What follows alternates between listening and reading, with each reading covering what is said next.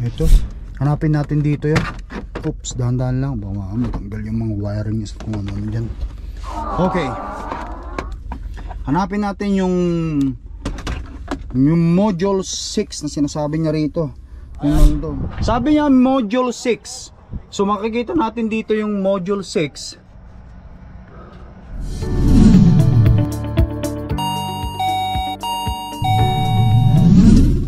Alright you guys, good morning, good morning, good morning.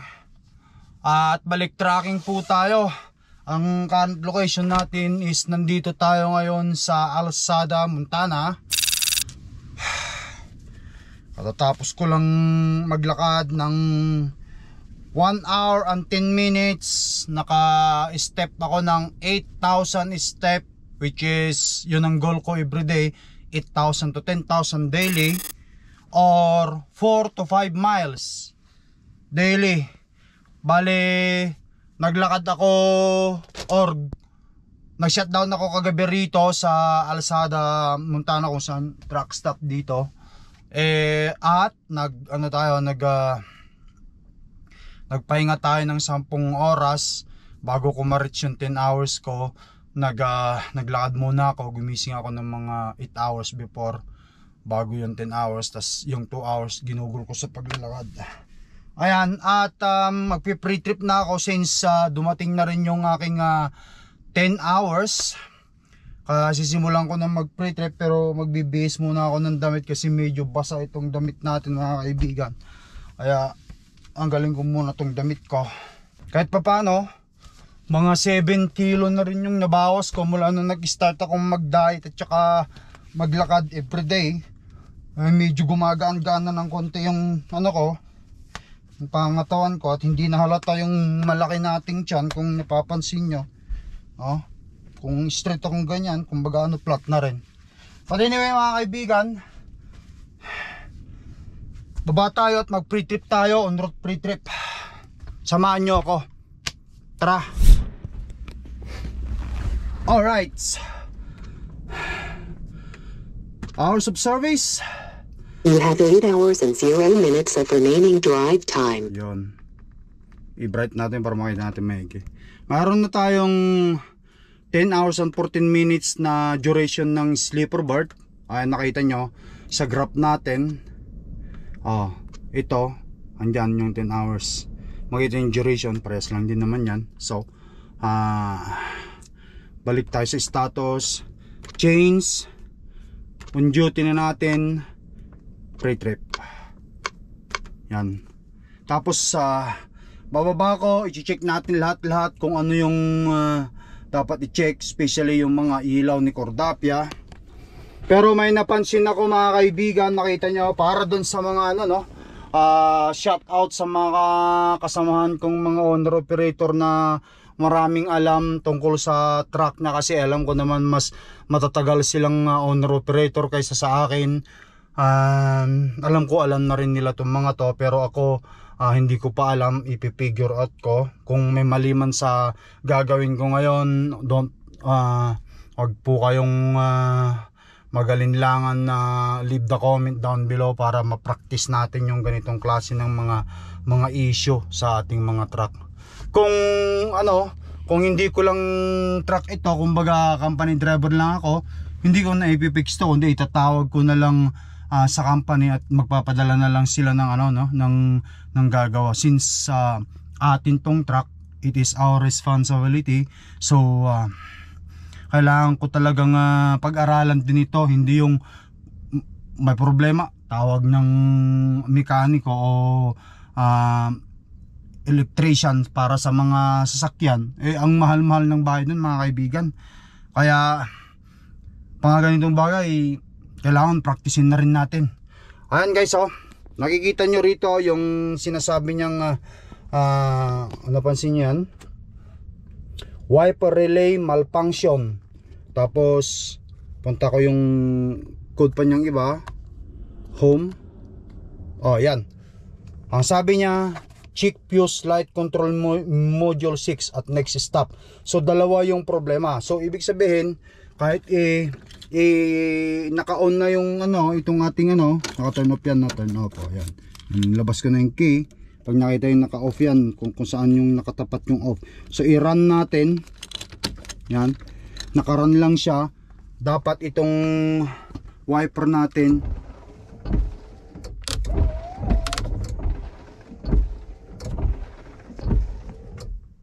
Yun, gumana yung wiper natin. Hindi ko alam bakit sabi niya hindi.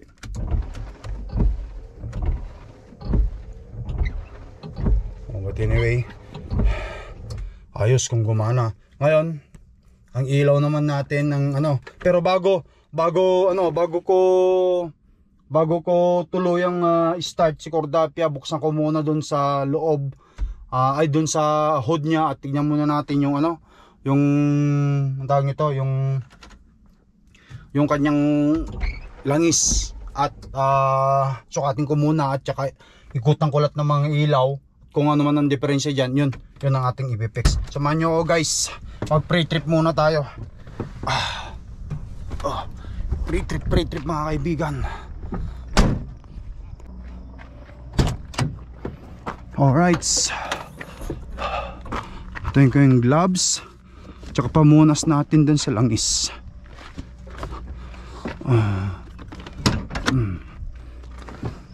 Sana yun lang ang problema o pati ilaw gumana rin naman. Nasa kaya ang problema nito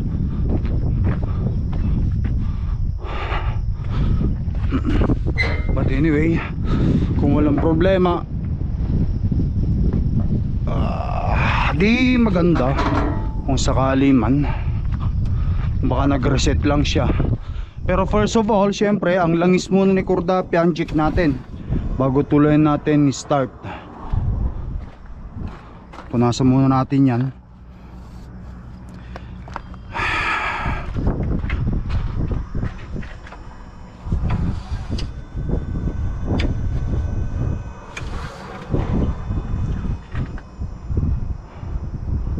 Hanggang doon. Nasa max level pa naman. Yan hanggang doon pa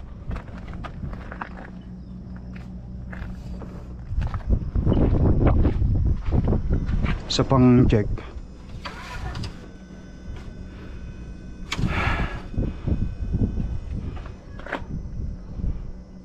Max. Hanggang dito medyo kailangan kong dagdagan ng konti. Mga konti lang. Nakita yun guys ano? Nakikita yung mga kaibigan. Ah andin yung nakalagay ng max. Oh andun na yung langis. Dagdagan ko lang ng konti konti lang. Tapos sik natin ng mga ano.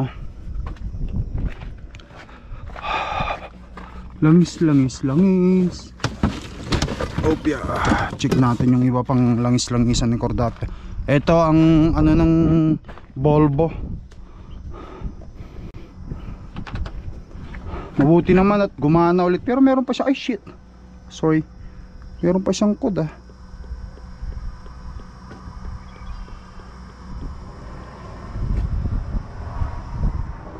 Hop. Oh, siya. Kailangan ko punasan yun. Kasi madulas yun. Baka mamaya mag-slide yung ano natin. Gulong natin.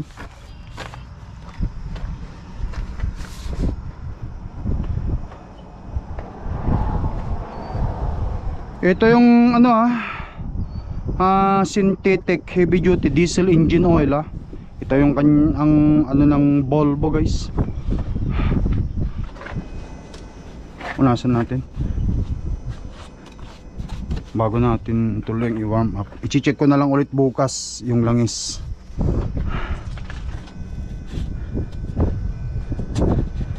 Kumbaga sa ano pa dagdag lang. Alright.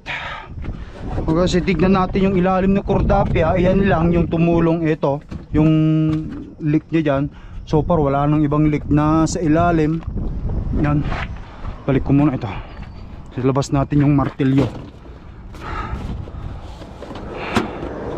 Pamukpok.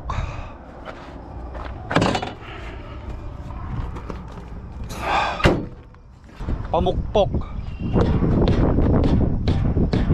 Check natin ang mga tire. course sa pre-trip Chine-check natin yung gulong ah, Especially yung lug nuts Kailangan dapat lahat ng lug nuts natin is kompleto and properly tightened. Outer wheel seal is not leaking. Ang ating ah, rim is not bengkong 100 PSI or manufacturer specification. At any random point kailangan 4 ah, millimeter ang lalim. Engine check ang mga oil langis. By the beginning of the day check check natin yung mga ano dyan yung side ng ah, makina. Kung ano ah may mga naglilik na langis ni dyan. Yan. So par wala naman. Check muna natin dito sa loob ng kabila. Okay so nasa max pa rin naman yung kanyang ano ah ito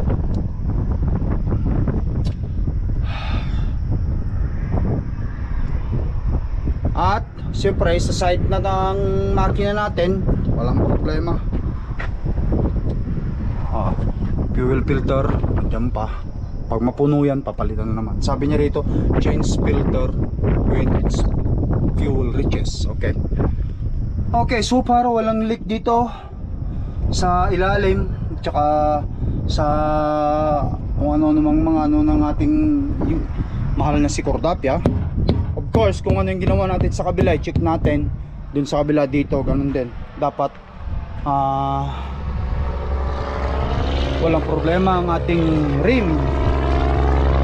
Tsaka outer wheel seal tsaka yung gulong. Okay so ilaw naman tayo bago tayo dumiretso doon sa ano opya alright so guys tinitignan natin dito is yung mga ilaw since lahat naman ng mga ilaw ni Cordapia is gumagana pero meron siyang issue dito ah. Ito ang napansin kong hindi gumagana. No. Ang napansin natin hindi gumagana yan.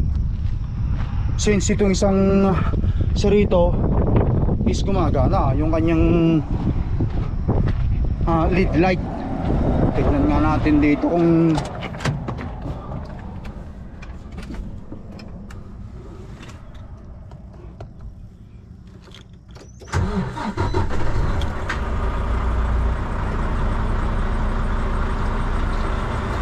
start natin.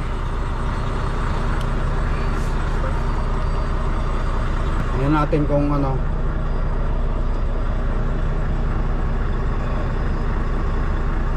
Home. Meron pa rin yata nag-pop up na notice. Wire, uh, wiper relay malfunction. O, wala na, hindi na gumagana guys. Tulad nito, hindi na gumagana oh, yung ating wiper. Ah. At saka yung check fuse light control ah, module ayan check fuse light control module 6 at next stop yan i-check ko yan. Kasi hindi gumagana yung mga ilaw ilaw natin pulse pero i-check muna natin lahat. Kung yan lang naging problema. Lead light nya ah hindi gumagana. Okay so sa kabila gumagana yung lead light nya yung parang C.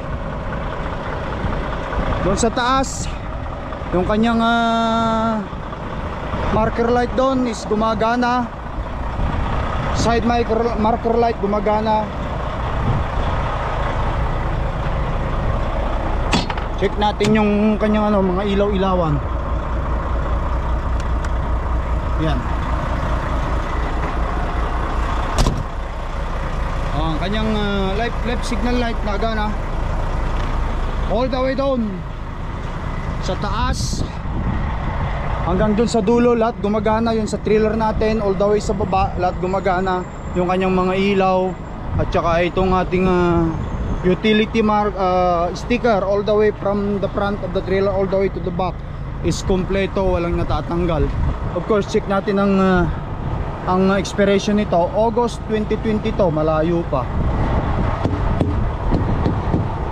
Cause any random point ng ating drive tire is uh, supposed to be 3 3 uh, millimeter and there's no debris in between at ang ating uh, rim is not broken or hindi bengkong.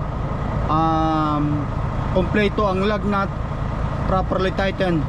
The same with this uh, uh, uh, other one here. Okay. Bago tayo makalimutan. Check natin. Ang temperature is 29 ang set point ang ay 29 ang box tem- temperature is 27 which is perfect. Make sure ang ating uh, oil hindi siya nagli-leak at properly tighten yan. Sa ilalim. Mat flap ng traktor. Kompleto. Ay mga ilaw niya is properly functional. At ganoon din yung ilaw dito sa ano. Ah ah, may differential na naman itong ilaw ko rito. Kailangan ko na naman palitan. Ang bilis mag magmabasted yung mga ilaw eh. Fifth wheel is properly locked around the kingpin and uh, the beam of the trailer from the front all the way to the back there's no broken. Ah, ang ating landing gear or landing dolly is properly functional in a trayway meron siyang low ah, second speed at saka yung high speed niya. Yan. Alright. Ah. check natin yung ating ano gasolina. Marami pa nasa pool pa. Yun of course dito.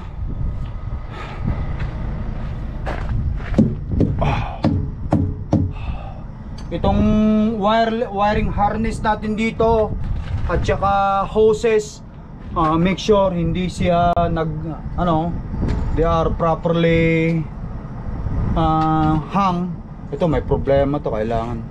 At least meron pang isa oh. Ayusin ko na lang ito. Yan kukunin ko yung aking ano para may lock ko ito para meron siyang ano meron siyang ah ayun oh. Kukunin ko yung aking price doon. Pati ipapatuloy ko muna. Ah, titignan ko muna kasi since nandito na tayo ang ilalim ng ating trailer tire ah, there is no leak in the brake chamber. Ah, kita natin guys. Ah, ito dapat palitan lang nila to. Hindi ko alam well dapat mapalitan pero kung hindi okay lang din naman siguro yun Oh, there's no debris in between. Rim, no broken, no crack. All the lug nut is proper, ah, excuse me, properly tightened and uh, no missing lug nuts. 100 psi. Same thing here. Okay guys. Yan. Mud flap, importante to kasi wala ka tayong mud flap at napahinto tayo sa scale. Tapos tayo kasi importante yan. Okay so make sure hoses and wiring harness is properly hung like this. Hindi siya dapat nagra-rub doon kasi kapag ka nagra-rub the movement eh, nagagasgasan dito magkakaroon ng leak. Mawawalan to ng preno kasi nakakonekta to sa brake chamber. And guys no leak at saka itong ating ano ah, airbags is properly inflated. Wala akong makitang uh, diferensya except sa mga natatanggal na mga ganito which is i-report ko na lang sa kanila para sa ganun mapix nila. Ah. see guys. Alright. So far wala tayong makitang problema rito. Of course tong beam ng trailer walang broken. Ah ano lang yan. Alright. Alright. EBS properly working. Okay. Sa taas ng ating ah, ilaw sa taas at saka sa baba is properly working. The trailer door ah, sticker is properly affixed. Walang nawawala ah, as well in the dyan sa kanyang bumper yung utility sticker niya. At ah, itong ating ano is properly fixed apex. Hindi siya nalalaglag yung license plate ng trailer at yung ilaw niya is gumagana. Yun. If the trailer is not locked is not sealed I will open the door to check the position of my load. Siyempre ganun lang talaga yon kapag nasa ano tayo nasa pagkuha ng ah, ating ah, license. Alam mong sabihin yun. Since na nakaseal dyan hindi ko pwedeng baliin yun o putulin yung silyado niya. Kasi baka hindi tanggapin yan ng dideliveran natin. Okay. So malalaman na lang dun kung magka, may problema. Since alam ko naman sa sarili ko walang problema yan. Kasi nag-iingat naman ako mag-drive. Hindi natumba yung aking mga load. So parehas sa kabila kung ano yung ginawa natin sa kabila check natin sa taas all the way to the front yung mga ilaw. At saka ganoon din sa baba back all the way to the front yung mga ilaw. At saka yung uh, utility sticker walang bawas. At lahat yung mga yan ilaw ay gumagana. Same thing kung ano yung ginawa natin dun sa kabila. Make sure there is no debris in between ang ating uh, trailer tire. Uh, outer wheel seal is not leaking rim is not broken. Same with this uh, one here. At uh, properly tightened. Yan. Oh of course walang debris in between. Yan lang naman yan. Alright. Check check. Kasi baka mamaya magkaroon ng aberya. Bandang huli tayo pa mapagpintangan. Alright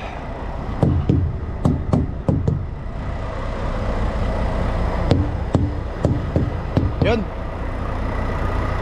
Kung ano yung ginawa natin sa kabila check din natin kung anong ah, may issue dito sa ating tractor trailer ah, tractor ah, drive tire.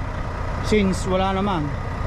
Siyempre check natin dyan yung kanyang ah, ah, wheel seal outer wheel seal yung kanyang ah, ah, bolt kompleto walang nawawala at hindi bengkong yung rim.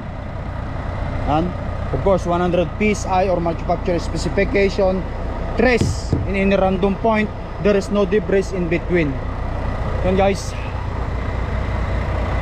Saka dito gumagana yung right signal light.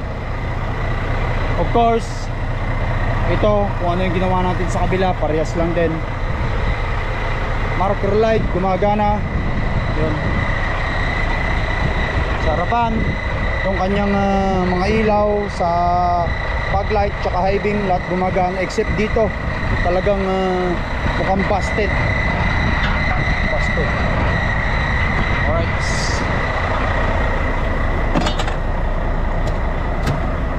Ah, patayin muna natin. Yun.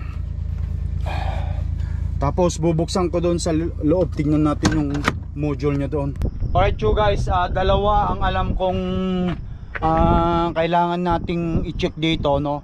Ah it's either dito na fuse sa loob ng makina niya itong fuse dito or doon sa fuse doon sa, la, sa loob.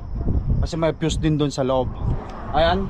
Sabi niya module 6 so makikita natin dito yung module 6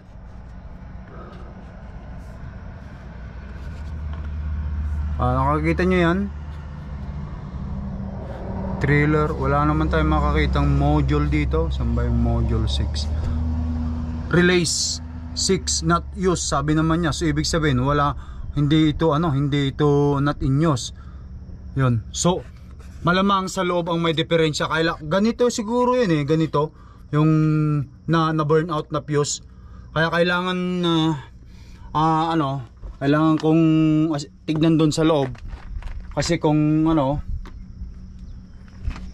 tatry kong subukan ng sarili ko at kung hindi ko magawa sa sa aking sarili kailangan kong tumawag ng gagawa naman kasi hindi pwede yon lalo na pag ano yung wiper hindi gagana. Pa paano kung umuulan? Di wala na. Wala ka na makakita.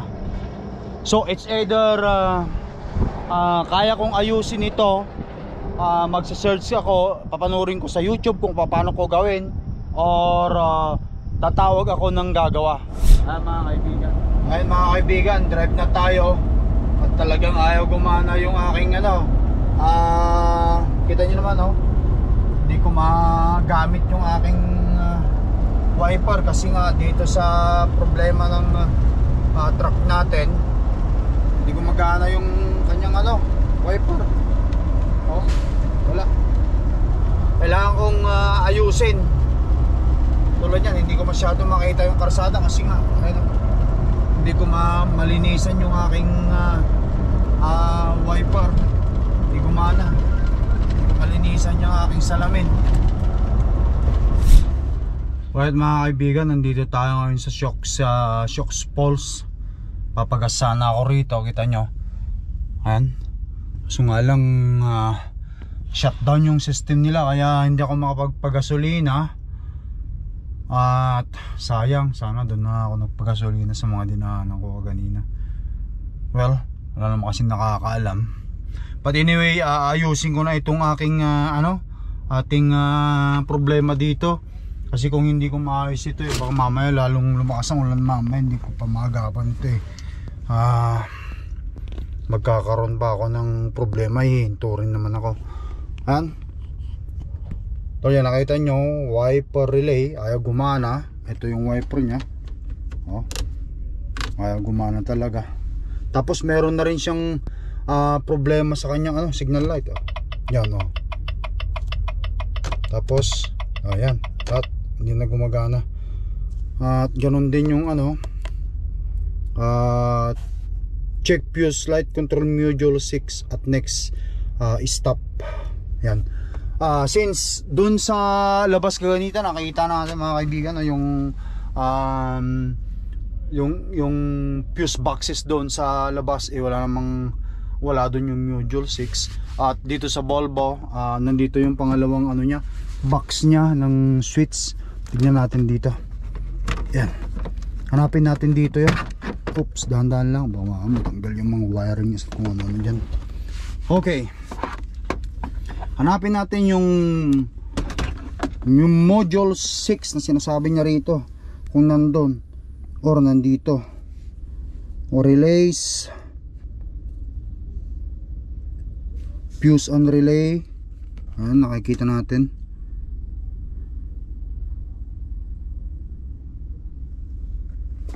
R6 oh, teka. Hindi ko may pwesto yung aking ano. Kung andito rin yun. Yan. Window auxiliary R6 fuses yan R6 release R6 open external relays open open.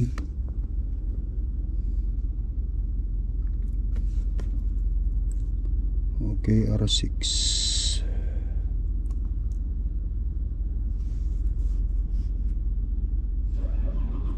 wiper 25 andyan nakita natin wiper. Uh, F7525 wiper. Uh, F6 ito slipper socket. Uh, slipper socket. R6 open. Tingnan natin dito.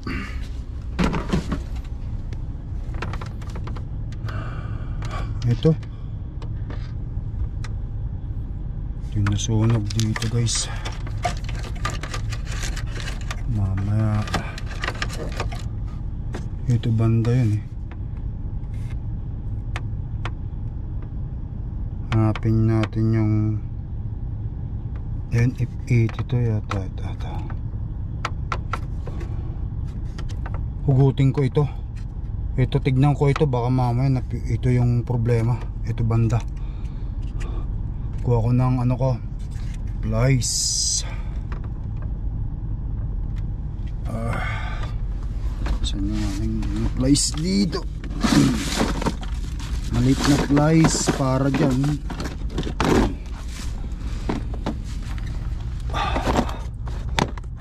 sana maging okay. Para hindi ko na itawag sa manggagawa. Hmm.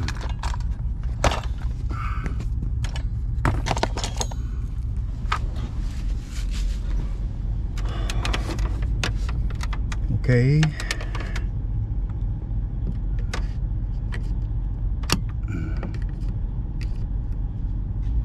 Tanggalin ko lang ito guys. Hmm. Ayan guys, kung nakakita nyo sa loob niya oh, yung parang ano, ah, ah, yung ano dyan oh, parang hindi siya ano eh, hindi siya, kumbaga nag-burn out, hindi siya magkadikit. Ang kailangan dapat ito magkadikit dapat yan yung yung yun sa loob, yung parang connector niyang dyan. Kailangan kong bumili ng ganito or tignan ko kung meron pa akong ah, extra dito kasi alam ko may extra pa akong ganito eh. Kasi ngayon lang din naman ako naglagay nito. Kailangan hanapin ko yung lagay ng ano ko. Uh, fuse fuse ko. Alam ko nandito lang to eh. Kasi in-inspection ko lahat nung bago kong kinuha si Cordapia. Ayan guys, meron akong isang extra. Ito oh. Kita nyo, ma- mapapansin nyo sa loob nito. Ako makita nyo Dito sa may maliwanag kung makita natin sa lahat oh. Kita nyo yung sa loob nyan oh, di ba ah, diretso? Oh, Yung hindi tulad nito Hindi tulad nito Bali siya. Bali yung gitna nya Kumbaga ito yung luma. Yung gitna nya hindi siya ano hindi hindi na siya nag hindi na siya nagkonekta kumbaga ano kaya na burn out nasunog ba? Unlike itong papalit natin oh yan kompleto yung parang ano sa gitna yan, ikak- kakabit natin. Yan. Yan. At hopefully mag work out kung hindi wala na. Wala na akong ibang alam na paraan dyan. Kundi ganyan yan. Ah. okay so oy. Ah, tingnan natin yung kanyang ano. Um, mga pop-up notice. Yan guys pop-up notice tignan natin kung nagawa natin. Okay. Uh, no notice. Oh, tignan natin yung ano yung ah, itong ano natin wiper kung gagana na. Yung guys yung wiper natin gumagana na. Ah yan I'm pretty sure syempre doon sa ano sa labas yung ilaw din doon sa labas natin yung ELD yung ah, kaganina na nakita natin is gumagana na rin yan. Ayun. Oh ayun mga kaibigan. Gumagana na yung ELD niya kaganina wala ito. Oh yan parehas yung ELD niya gumagana na.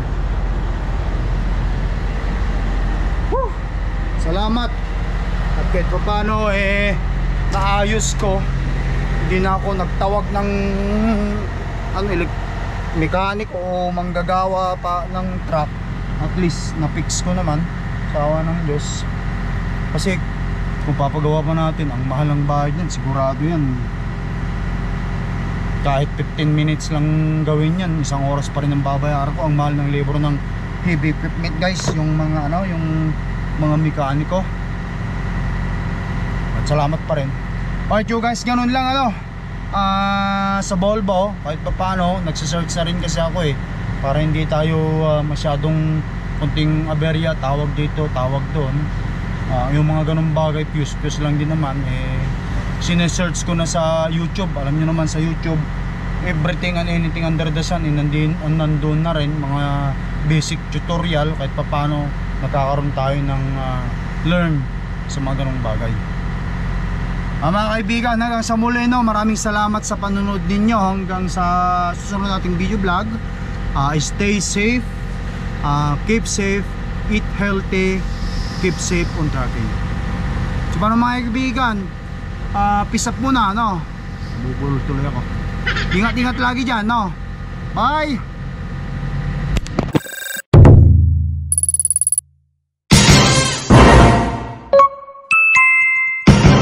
Lakay Pinoy Tracker